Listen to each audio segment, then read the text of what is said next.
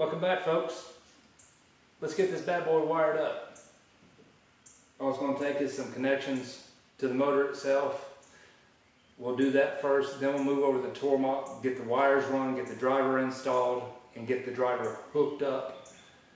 And then we'll test her out, see how she works out. I printed off the sheet from Tormach's technical document on the installation of wiring of the fourth axis. And I simply noted that the wires we wired up that'll be going to the driver, A positive, A negative, B positive, B negative. I followed them out and made notes of which ones they are going to my connector that plugs in and goes to the motor. And here's the motor that I purchased and simply noted the A positive, A negative, and we'll hook those up accordingly. So that's all I'm going to do now. I'm going to solder up some wires.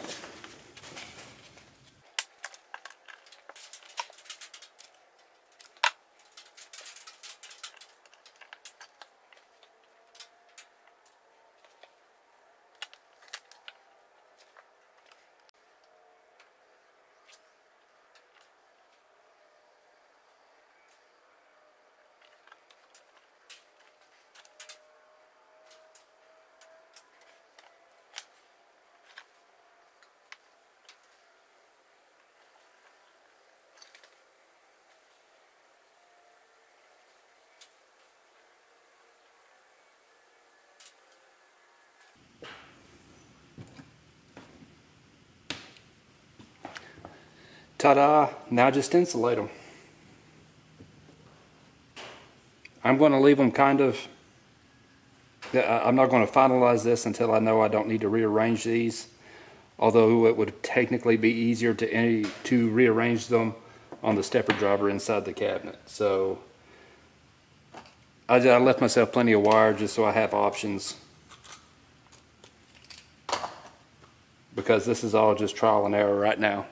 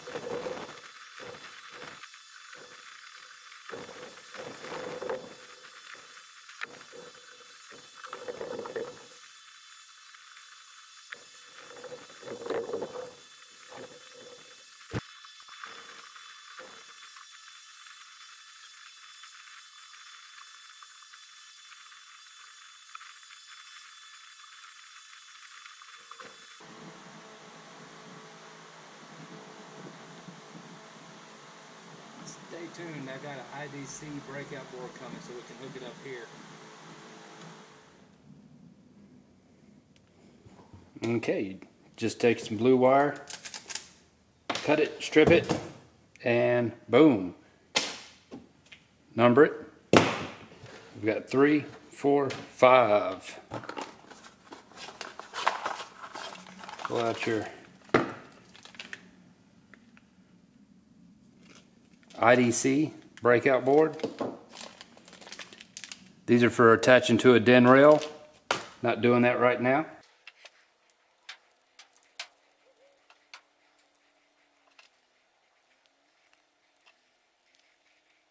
Depending on your make, depends on how they actually break it out, but in my case, we've got three, four, five. That's how I've got them numbered, matches up here. It's real easy to I mean, they're not going far. So let's get her in the Tormach.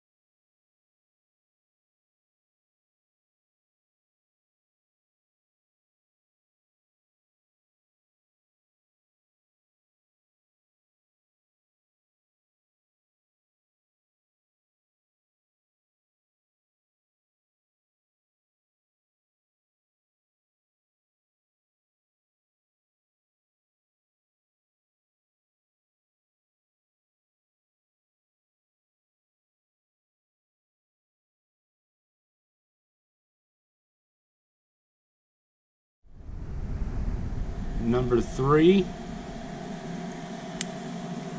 off the breakout board goes to pulse positive.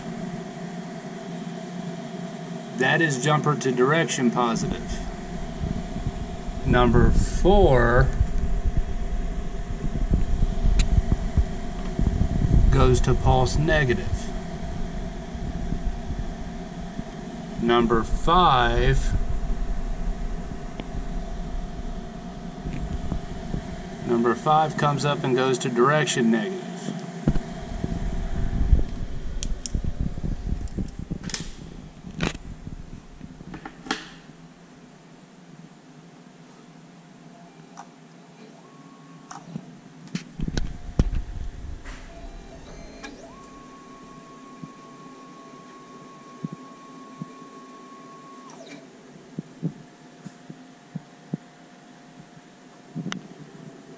260.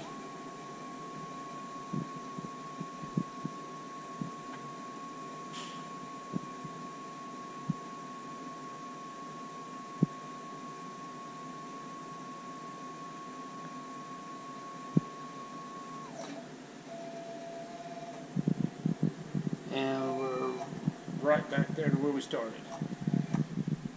That's just rough.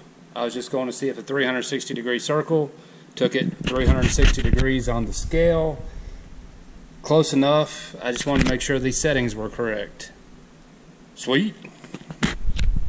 All right, folks. Hope you've enjoyed this little series on uh, getting a fourth axis wired up to your Tormach. It's been a real simple project. I will be upgrading that motor mount on the fourth axis itself in the near future.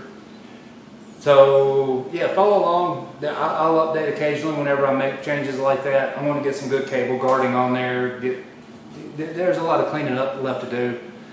Like I said, we're shooting for 80% here. 80% is functional. That last 20% is making it nice, making it look like you did it on purpose. I went ahead and did that with the electrical because, uh, oh, because tearing in and out of the box just gets old. So anyway, hope you enjoyed it. So follow along if you want. Got more stuff coming in the future. I enjoy upgrading my machines. I've got a CNC lathe project coming up that I started years ago. I really need to finish it. And by finish it, I mean start over. uh, yeah, so follow along. It's gonna be fun. Bye.